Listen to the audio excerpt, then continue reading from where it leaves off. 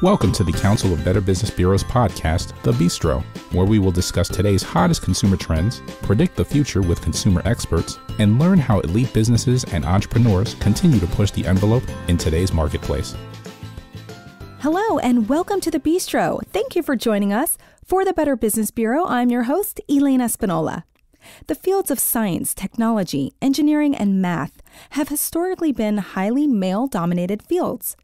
Even as more women have entered the workforce in the last several decades, women continue to be underrepresented in STEM fields.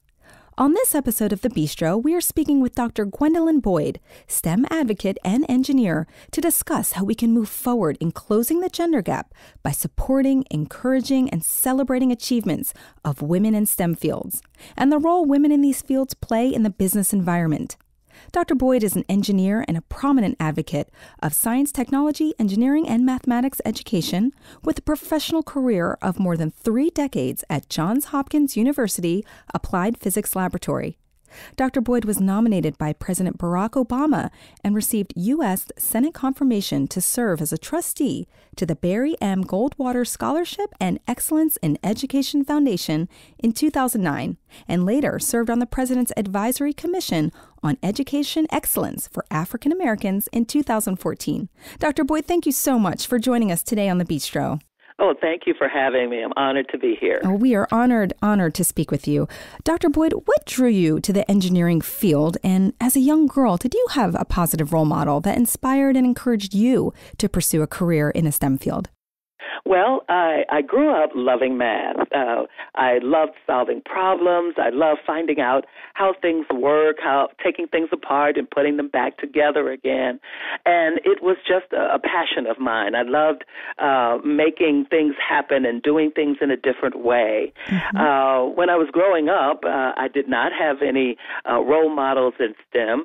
Uh, in fact, I didn't know any engineers or didn't specifically know anybody in in uh, any of the careers in science or, or technology, but I was persistent uh, and I knew what I'd like to do. And so as I pursued uh, a college career, I majored in mathematics as an undergraduate with a minor in physics and music, and then got my uh, engineering degree.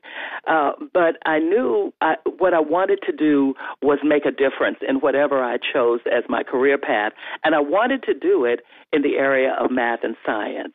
So uh, I'm excited to always share my story with young people that if you really enjoy math, continue to enjoy math and don't let anybody deter you off that path. Absolutely. Uh, yeah, sometimes people uh, say that they're afraid of math. They don't like math. It's because they haven't tried it. Right. Uh, and so if they do, they'll find out math and science are wonderful subjects.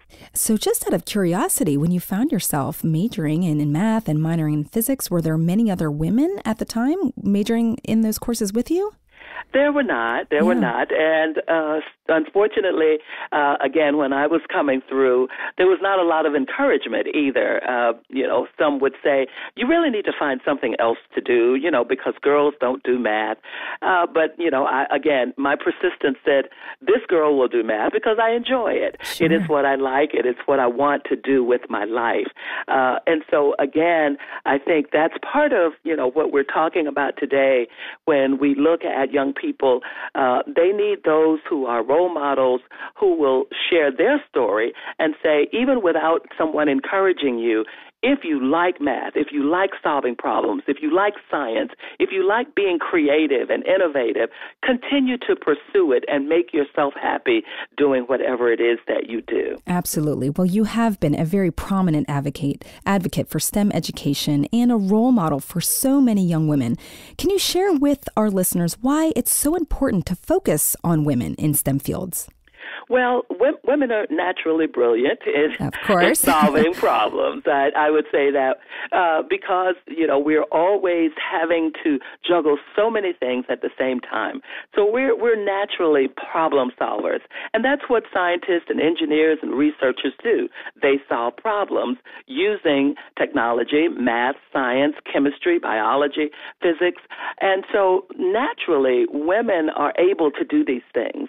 Um, you you know, when we look at the opportunities that are available, there's so many things that uh, that they're able to do, and so if we use that as our uh, perspective to point us in a direction that says, I, I do have the skill set and I love math, I love solving problems, and I want to be an astronaut. I want to be the person who finds the cure for cancer. I want to have that medical breakthrough. I want to invent more robotics or the next cell phone that we don't have to hold in our hands, but it's actually in our hands. Mm-hmm. Uh, because women are always looking for solutions to real time problems. And that's what those who are STEM disciplines do. They solve real time problems. Yes. And so that's why it's so important for women to be involved. Also, women are naturally team uh, team focused. Sure. They love to participate in teams, and they're good at team building and it coming to consensus on solving a problem.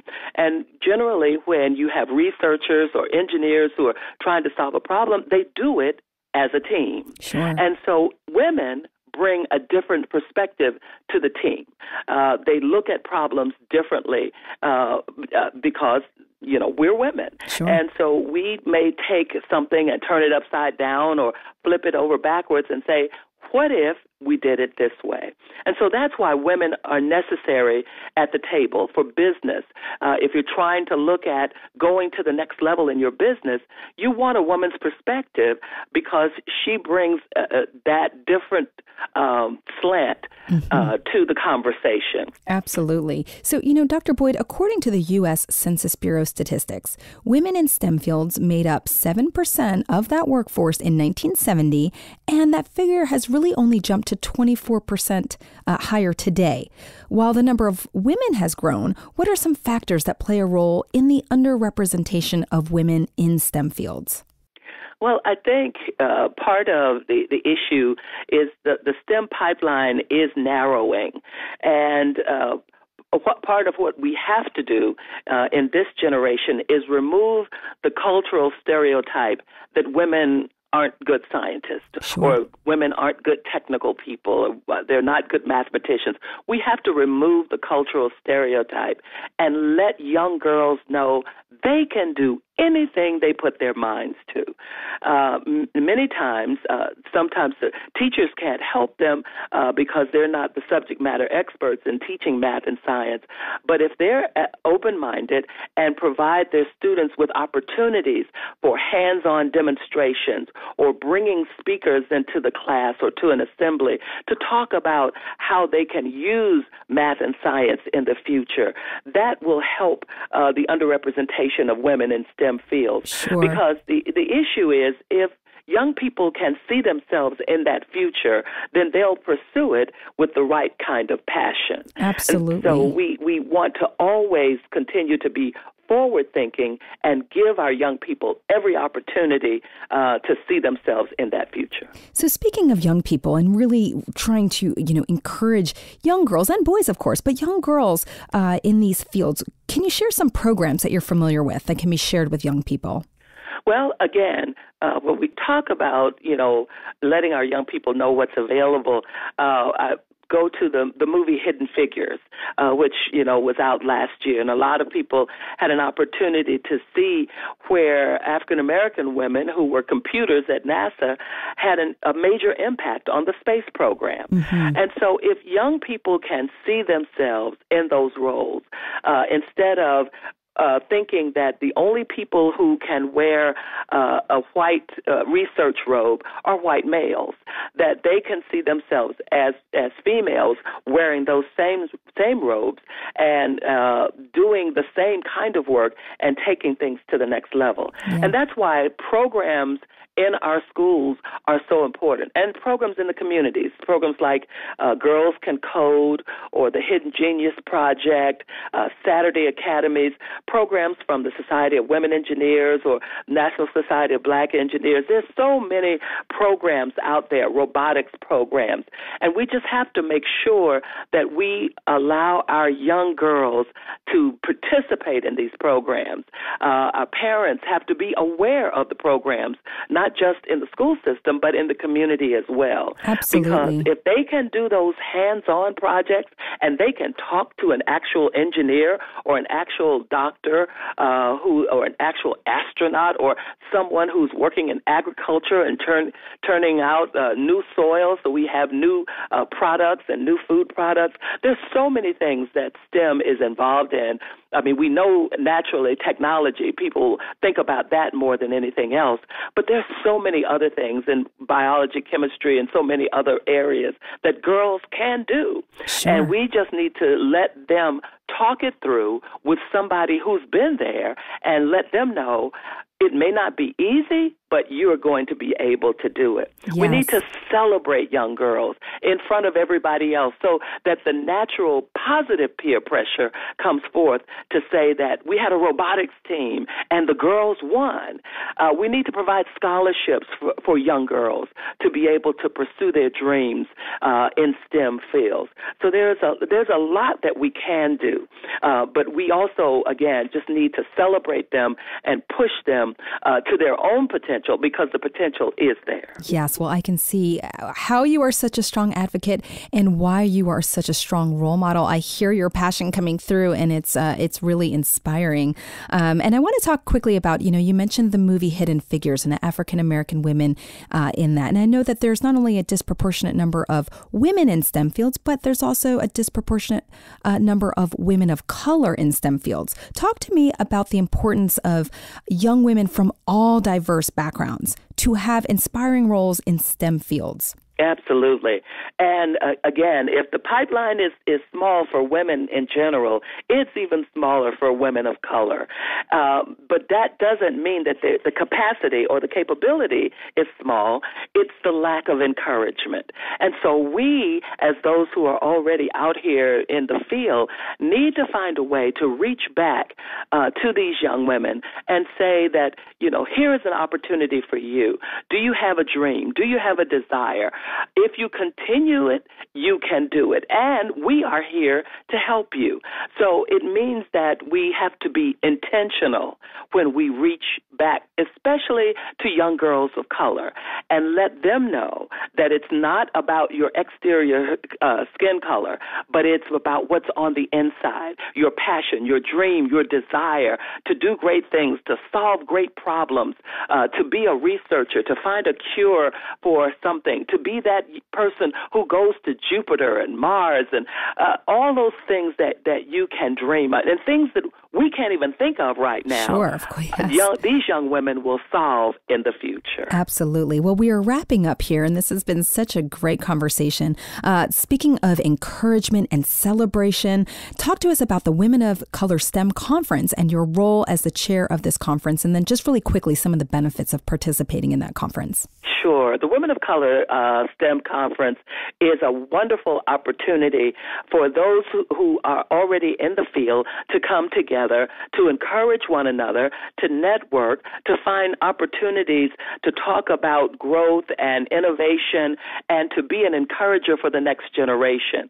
So it's not only for professional women to come together and be celebrated for the work that they are doing, but also for young women who are in college and even sometimes some high school girls to come to see these women already as professionals so that they, uh, as I said earlier, if they can see it, then they can dream it.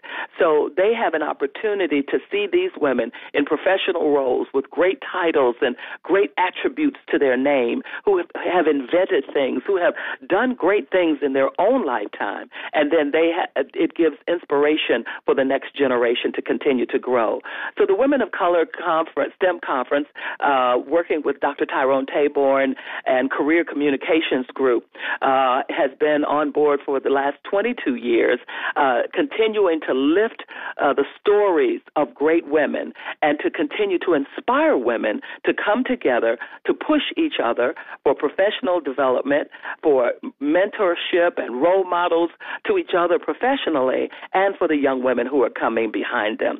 So it's a great opportunity. Uh, ccmag.com is a place where you can go and get uh, more information. Uh, Women of Color online. It's also a detailed information about the Women of Color STEM conference.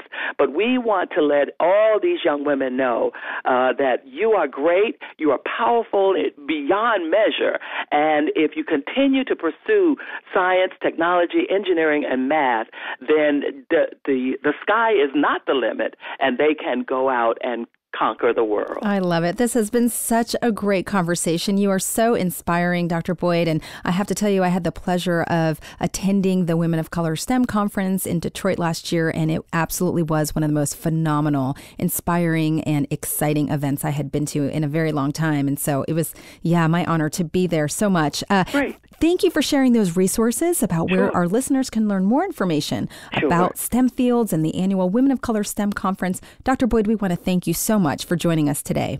Thank you for having me. The Better Business Bureau is deeply committed to building and advancing a better marketplace, a trusted marketplace for all because trust always matters. For the Better Business Bureau, I'm Elaine Espinola, host of the Bistro podcast. Until next time, it has been my pleasure discussing women in STEM fields and better business with you. You just enjoyed the Bistro podcast. Be sure to tune in next month for a brand new episode. To learn more about our other shows, visit betterbusiness.blubrry.com. That's betterbusiness.blubrry.com and subscribe. The thoughts and opinions expressed on this podcast are the views and opinions of the guests, not those of the Better Business Bureau, Council of Better Business Bureaus, or program affiliates. This podcast is for information and educational purposes only and is copyrighted with all rights reserved. This podcast is protected by Blubrry's Terms of Service.